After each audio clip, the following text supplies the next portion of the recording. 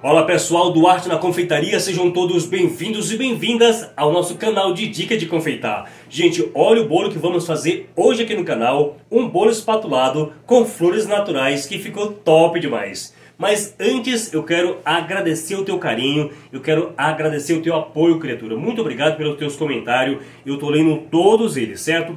E você também que deixa aquele like bacana no canal, esse like fortalece demais o canal e através dele outras pessoas estão chegando, outras pessoas estão conhecendo o meu trabalho. Então meu muito obrigado por você que sempre está deixando esse like top aqui no canal. E você que está chegando hoje, aproveita, se inscreve, ative todas as notificações para você receber as minhas dicas de confeitar. E falando em dica, gente, hoje eu tenho uma dica para vocês aqui na tua tela, criatura. Olha aqui, ó, livro digital Bolos da Fazenda. Gente, essa é a dica de hoje, um livro com mais de 30 receitas de bolos maravilhosos. Quer fazer aquele bolo no final de semana, para a família, enfim. Tá aqui, ó. Essa é a dica de hoje, livro digital Bolos da Fazenda. Olha aqui, ó, gente, bolo de milho. Ah, quando eu for na tua casa, quando eu for na tua região, eu quero um bolo de milho com um cafezinho preto que eu amo, tá? Bolo de mandioca. E falar em bolo de mandioca, na tua região, como que se chama? É bolo de mandioca, bolo de macaxeira ou bolo de aipim? Enfim, na minha região é bolo de mandioca ou macaxeira. E na sua? Deixa aqui no comentário, certo? Bolo de maracujá. Gente, é muita coisa bacana. Aqui, ó. Livro digital Bolos da Fazenda. Essa é a minha dica de hoje. Na descrição do vídeo estarei deixando esse link para você adquirir esse livro, certo? Então vamos ao nosso passo a passo? Vamos lá! Esse é a nossa. E para começar, pessoal, o meu bolo está aqui. Deixa eu pegar minhas espátulas. Gente, eu tenho duas espátulas. A menor é da Mago e a maior da Tramontina. Eu amo minhas espátulas. Da Mago, eu também tenho essa curvadinha. São tops e dá para fazer sim o mesmo movimento. Porém, como esse bolo é médio, eu estarei fazendo com a minha da Tramontina. E para fazer este movimento, gente, eu pego aqui ó, apenas a pontinha da espátula e vou colocando no bolo assim, gente, ó, fazendo um pequeno efeito. E perceba que o último sempre eu finalizo no primeiro, no meio do primeiro, assim, olha. Olha na imagem, certo? Para fazer este movimento, a, a, o primeiro acaba aqui pegando na base, então não vai ficar tão legal, mas você mesmo assim continua, certo? Porque vai ficar é, o movimento bem sincronizado em toda a lateral assim, ó. Agora, a partir do segundo fica mais fácil, por quê? Porque eu não estou mais colocando a minha espátula, não está pegando mais na base, então só pega mesmo aqui na lateral do bolo. E assim estou fazendo e vai ficar bem da hora. Olha que legal! Não deixa muito aprofundado o efeito, mas também não deixa muito rasinho. Somente isso, no mesmo sentido, vai rodando a bailarina, você vai conseguindo é, fazer esse movimento. É fácil, certo? Segue as minhas redes sociais, todas aqui na descrição do vídeo, o nosso Arte na Confeitaria. E assim vamos fazer em toda a lateral do nosso bolo. Pessoal, o livro digital Bolos da Fazenda, aqui na descrição você vai adquirir essa receita maravilhosa, um livro completo com muitas receitas tops para vocês. E assim estou finalizando a parte de cima aqui, ó, na lateral. Gente, na parte de cima do bolo é a mesma coisa. Tenham cuidado na, nessa primeira parte aqui, ó, para não fazer, uh, para não vir deixar uh, o teu bolo com imperfeição na tua lateral, porque você acaba aqui alisando primeiro para poder fazer esse efeito, você vai faz com carinho. E assim estou fazendo, olha aqui, ó. Rodando a bailarina com carinho, direitinho e fazendo o mesmo movimento. Olha, na segunda parte fica bem mais fácil. Isso aqui é só praticar. Você praticando rapidinho você consegue fazer assim, esses movimentos bem da hora certo? São vários efeitos espatulados e esse é apenas um deles.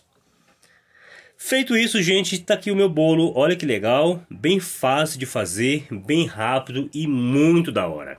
Agora vamos então colocar as nossas flores. Eu tenho dicas para vocês aqui. Gostou? Então vamos lá. Para as minhas flores, pessoal, tenho aqui flores de, de crisântemo, muito bacana, amarelas, maravilhosas.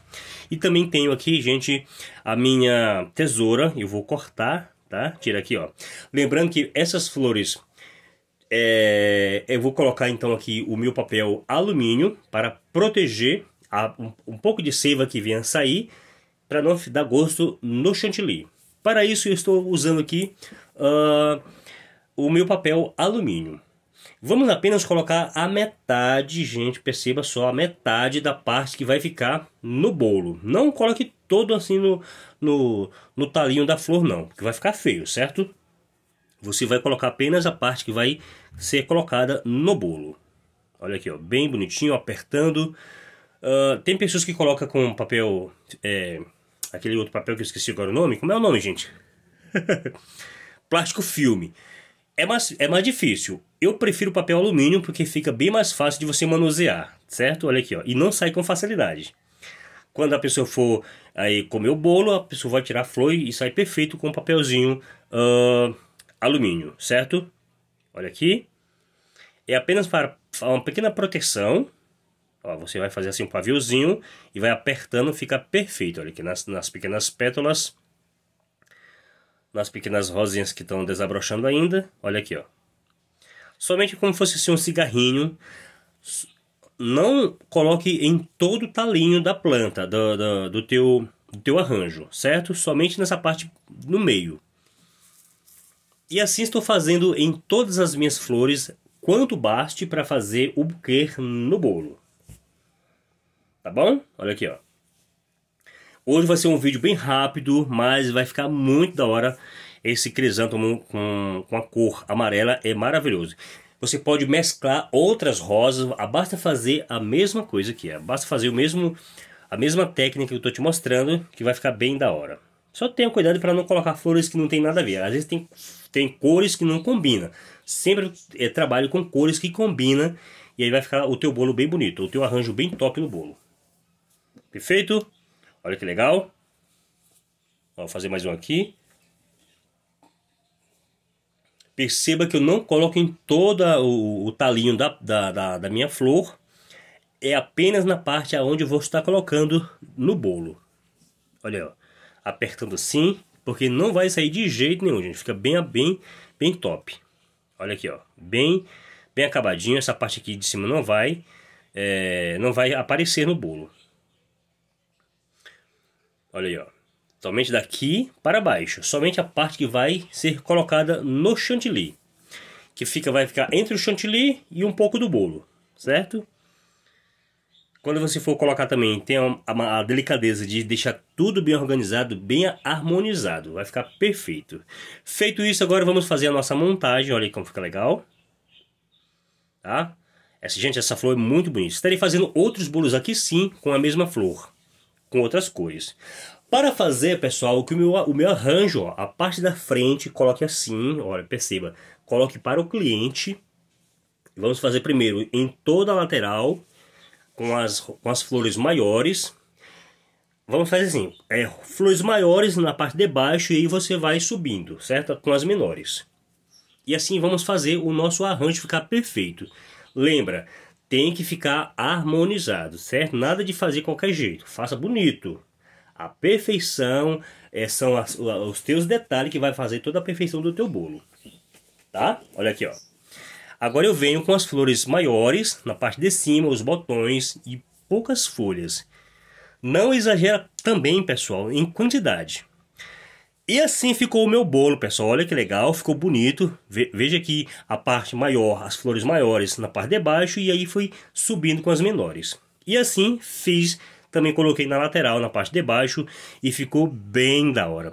Espero que vocês tenham gostado porque essa dica eu fiz com muito prazer para vocês, tá? Então façam aí e deixe aqui nos comentários. Se você gostou, dá o like. E aí, gostou do bolo de hoje? Espero que vocês tenham gostado. Pessoal, olha só, compartilhe os meus vídeos. O meu muito obrigado porque você está sempre aí me apoiando. Obrigado você que está sempre compartilhando as minhas dicas de confeitar. Todas as minhas redes sociais aqui na descrição do vídeo. Também o livro que eu falei para vocês hoje, aqui na descrição do vídeo, o livro digital Bolos da Fazenda. Espero você no próximo vídeo. Tchau, galera!